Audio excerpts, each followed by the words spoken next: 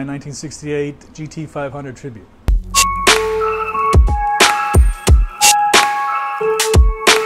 I bought this car in 2018 for my 50th birthday, present to myself. Why a classic car for your 50th birthday? I always had, you know, the fastback thing, a little bit with the Eleanor, a little bit with the Bullitt car. Those kinds, of, those cars came out to me, and uh, so when I went classic, I wanted to do Resto Mod because I wanted all the creature comforts that I had. But I always liked this style, I like the fastback 67, 68 style. When you bought the car, what engine did it come with at that time? Well, the car originally came with a 302. Uh, when we did, well, they did all the rest of it in 2013, 2014. I think the original owner did a myriad of things, many, many things to the car.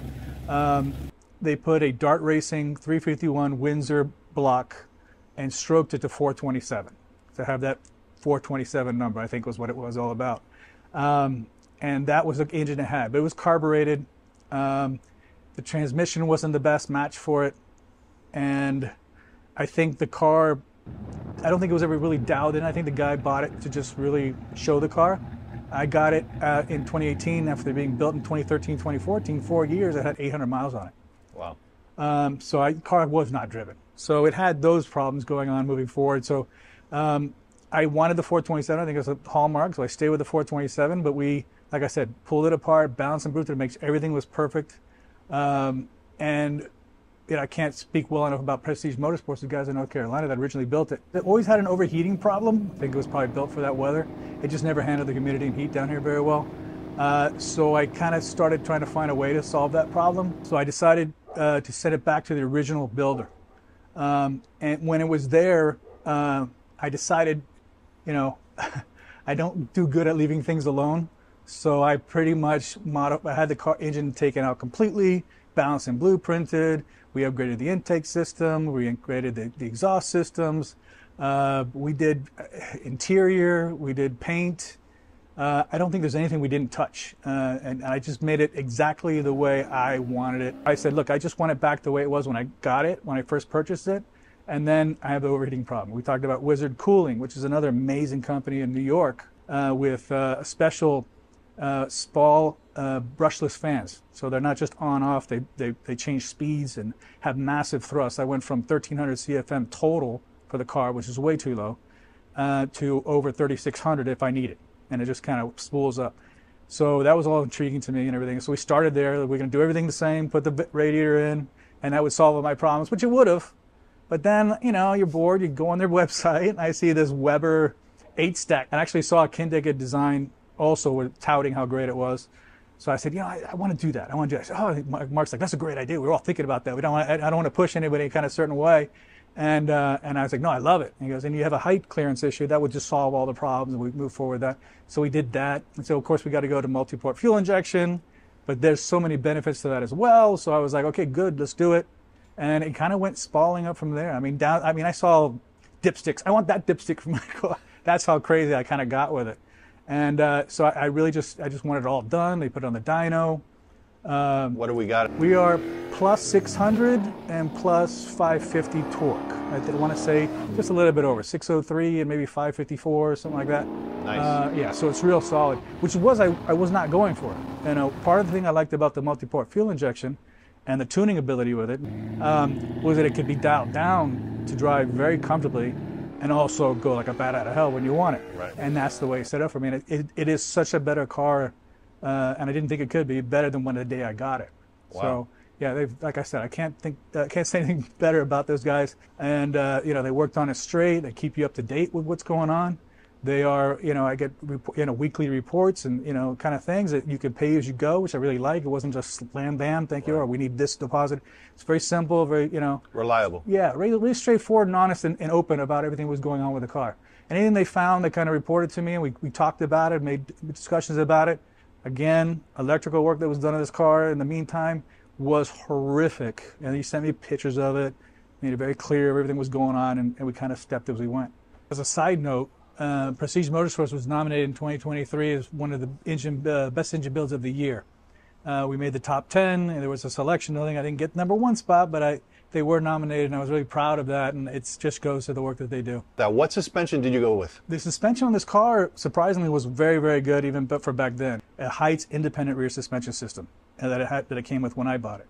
So there was really nowhere to go beyond that. That's the best of the best. Today is still the best of the best. But I had issues with uh, pulling one way or that kind of thing, or vibrations at speed and things like that. So what they did was they, you know, they, they, they did all the geometry work of the car and set everything up the way it's supposed to be set up. So it drives straight, drives reliable, it doesn't shake, it doesn't have stuff, and that was the biggest part of, of the uh, suspension. All right, so talking about wheels, what do you got? I have uh, Shelby American Racing DN 427s. They are 18s all the way around, uh, sevens in the front, nine in the back. Uh, tires are uh, uh, what I got 275 40 um, 18s and 225 40 18s on the front. That was one of the things I, when I said, you know, that's what I wanted. That's I always wanted those rims for the car. I always thought was the best look for for this car. So there, there's a, a, line you kind of go when you build a tribute car, which can be a clone, which is very much exactly you're kind of mimicking exactly what it was in '68. I didn't want to pretend that this is not a real GT500, uh, so I wanted to do what is called a Pro Touring Resto Mod. So it handles well, it goes fast, but it's it's everything's new inside and everything else. The outside I wanted to look pretty close, but you can't get those Shelby rims with the sizes that I wanted. Uh, so we went with these, and these are Halibrand. They're very much like uh, uh, sorry, they look like the Halibrands, and they are uh, like we see on the Cobras. And talk to me about the stance. The stance is mean. Yeah. So uh, yeah, the stances we're lowered here obviously quite a bit. Probably I think you have Shelby typically goes standard to the back and then maybe one and a half drop in the front, inch drop in the front. I think we are about uh, two and two and a half all the way around. So it's not too much more, but it's it's quite a bit. We sag a little bit there.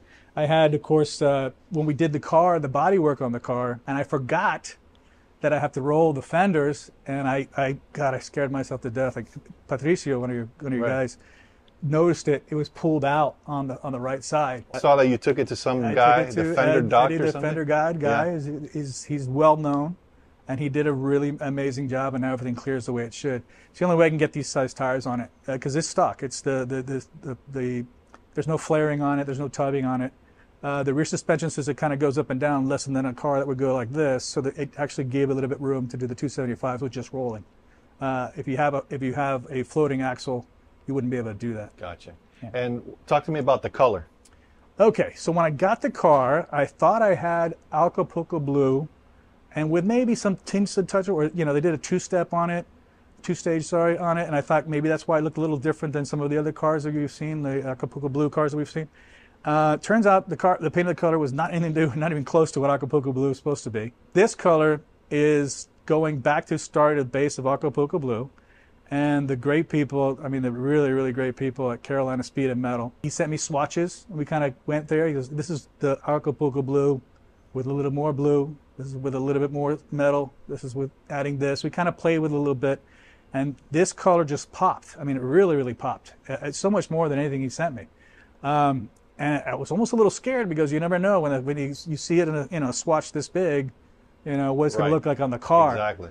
And they sent me pictures of it. You can go on their website and look at it, and their Facebook page and look at it.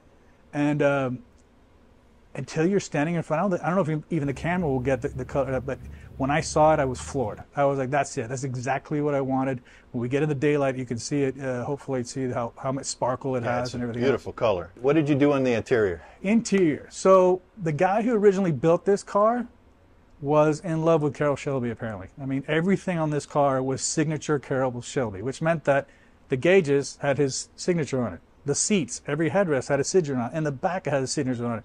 and the armrest had a signature. The floor mats had a signature. It was like kind of a little bit of overkill. Uh, so I just went in and, went on to TMI, talked to them. I said, you know, I want everything uh, except for a few things that I went with Mustang Zafir, but mostly everything from TMI, from the seats. The console is Mustang Zafir, uh, another great company. Yeah, And, and now these seats, the detail on them is super nice. Right. So this particular look with the rivets is harkens back to like the GT40, and that's kind of a look that I like. You know, getting back to the 60s and kind of going that way rather than going full rest of mine, which is like really more of a really bucketed seat. And okay, so the the door panels are from TMI.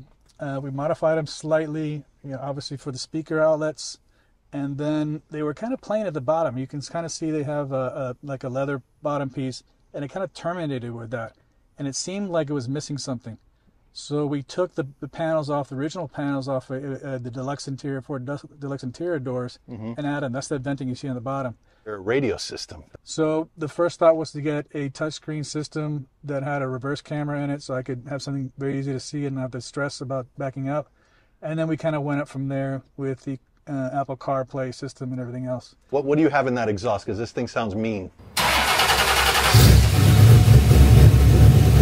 All the way. All the way around. Uh, it's called a, a company called Vibrant supplied the actual tubing. So they did cutouts on there. So the the cutouts. How do you how do you control the cutouts? There's a remote control switch that I have. That's like a keychain thing, Uh-huh. like a like an alarm switch. So now let's talk about transmission. What do you got in there? I have a Tremec TKO 600, which is the same as a 500, except it has a lower gear ratio for the, the first gear, which is supposed to help you on takeoff.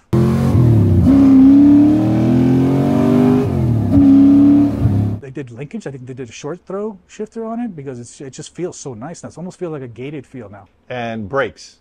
Uh, they're Wilwood six piston, four piston. How do you feel when you're driving this thing? the drive of this car is inexplicable. I, I can go back to the joy I had when I was, you know, 18 and in 1987 or so. Yeah. Every chance I get, I try and hit the road with it and really and really enjoy it. All right, so that's Tony, and he's taking off. Thank you, Tony. Have a good one. And there goes Tony. Hope you guys enjoyed it. Until next time.